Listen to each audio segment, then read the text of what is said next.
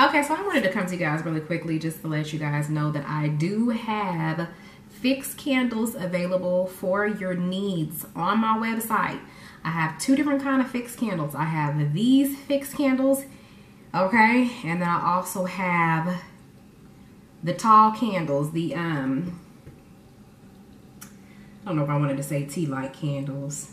Your taper candles. Taper candles and then these seven day candles, okay?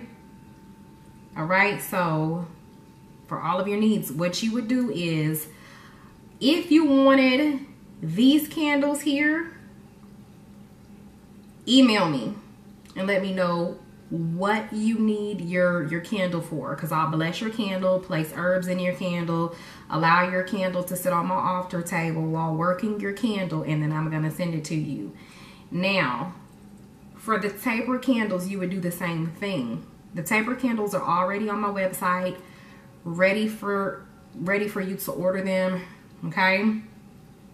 All you would have to do is just upon ordering them, put in the description box what you want your candle for. What's the purpose for your candle so that I can bless your candle and send it to you.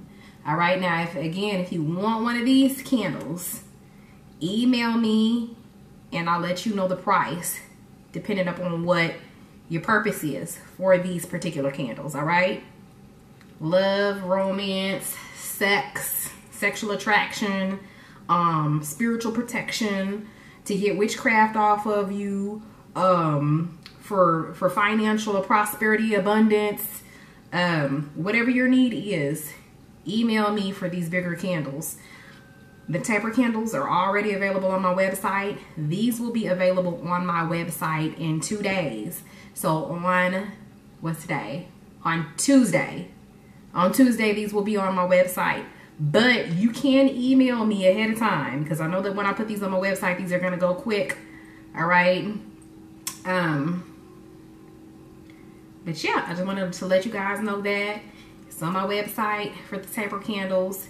And also again, for those discounts in regards to tarot readings, there's discounts up until the 31st of December only. And that's 5% uh, 5% discount with the code HOLIDAYS 2017. So take